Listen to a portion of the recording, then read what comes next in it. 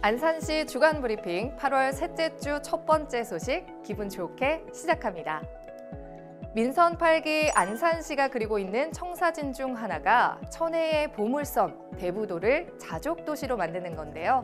이 목표에 날개를 달게 됐습니다.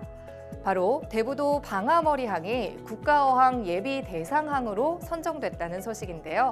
오는 2026년부터 7년간 국비 523억 원을 포함해 총 553억 원의 사업비가 투입될 예정입니다. 이를 통해서 더 나은 어업 환경을 구축하고 주변 관광 인프라를 연계해서 해양 특화 거점 벨트로 조성하게 되는데요. 신성장 동력을 확보한 만큼 변화될 방아머리항과 대부도의 모습이 기대됩니다. 네, 최근 민선 8기 2주년이 지났죠. 그동안 경로당 순회 방문과 주민과의 대화, 또 시민과의 가치 토크 등 현장 중심 행보를 이어온 안산시가 주민 건의 사항에 대한 추진 상황을 점검했습니다.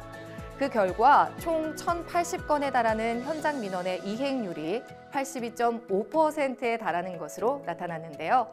주차장 버스 노선 증설과 또 배수로 정비, 경로당 신축 등 도로 교통 분야부터 복지 분야까지 다양한 시민 요구에 대해 이민근 시장은 책임 시정을 이어가겠다고 밝혔습니다.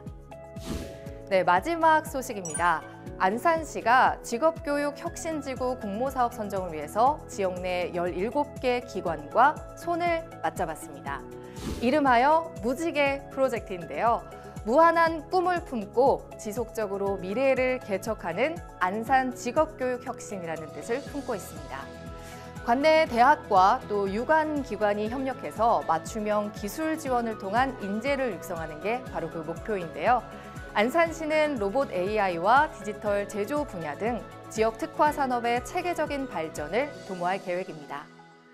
안산시 주간 브리핑 뉴스 속 김현주였습니다.